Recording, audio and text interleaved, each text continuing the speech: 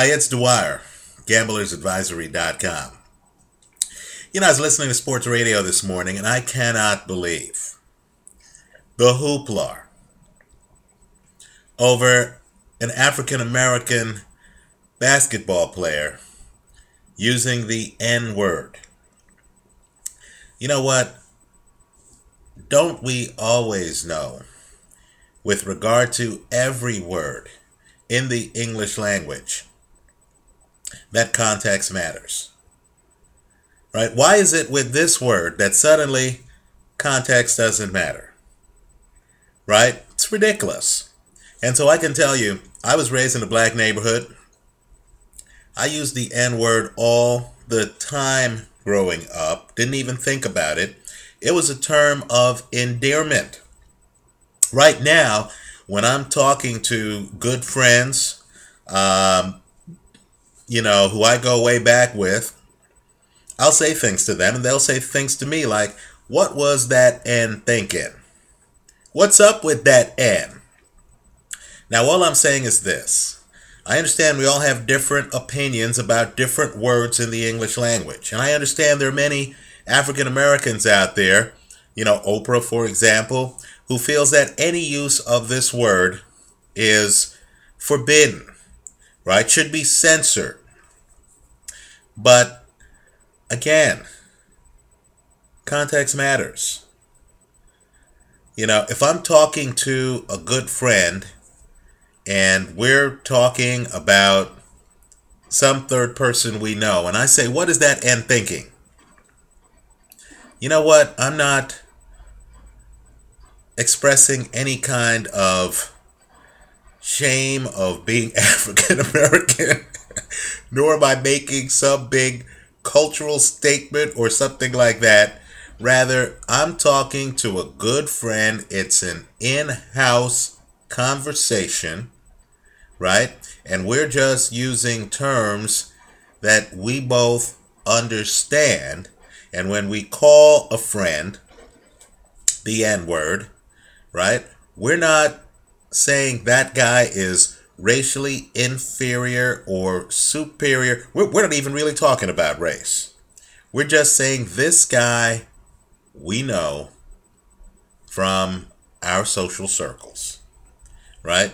And so now I'm hearing in a predominantly non black mainstream media that Matt Barnes may have used the N word because in high school he himself was a victim of racial discrimination. Give me a break. Right? Is there is there any city black community, and keep in mind I'm a product of one, where there aren't people using the N-word right now and talking about good friends and neighbors? You know, if I were Irish and I were to go into an Irish bar, and I've been in Irish bars on St. Patrick's Day, and I were throwing around, let's say, terms of endearment to other Irish people like me, would that mean that I'm slurring my heritage in any way, shape, or form? You know, this video should be taken in context. Life should be taken in context. The context matters. I'll agree that when somebody else, Riley Cooper, uses the N word in a pejorative context with negative connotations, that's one thing. But if I'm talking about a good friend with another good friend, and we laugh, and someone says, What's up with that N? Right? Um, I don't think any of us are making any statement other than just the statement that we're all in this together. We're from the same background, might be the same neighborhood, might be the recognition that even if we're from different parts of town, we share a lot of the same experience. The term is actually not a pejorative term, but a positive term, depending on the context. The great comedian Dick Gregory once wrote a book called N. I feel foolish here using the phrase N word, right? But I understand the term is too risky for many. So, context is everything. This Matt Barnes story shows just how ridiculous the public dialogue is on some things, right? Absolutely ridiculous. Am I supposed to believe that the only reason anyone at any time from a minority background would use that term is because they were victims of racial discrimination in high school? Give me a break. Right? This is PC gone way too far. Let me hear from you. Leave your comments for me here online. I know this channel is really about discussing sports. Matt Barnes is a sports figure. Sometimes, of course, sports actually runs into society, right?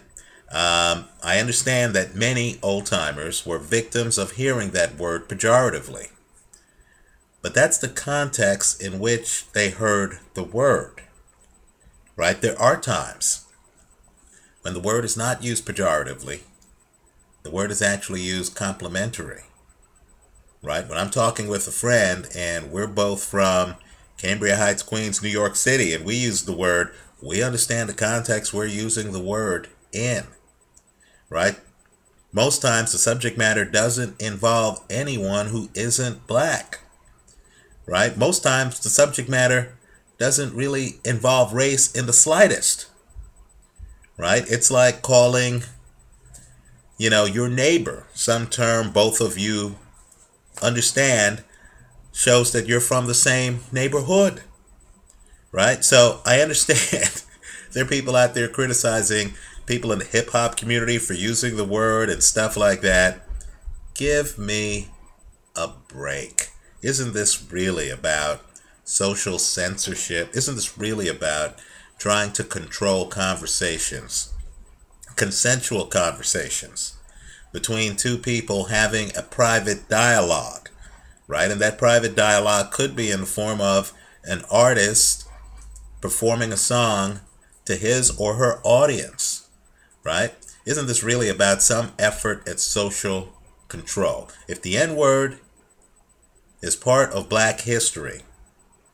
And if members of black history feel that they own the word and can pick the context in which it's used,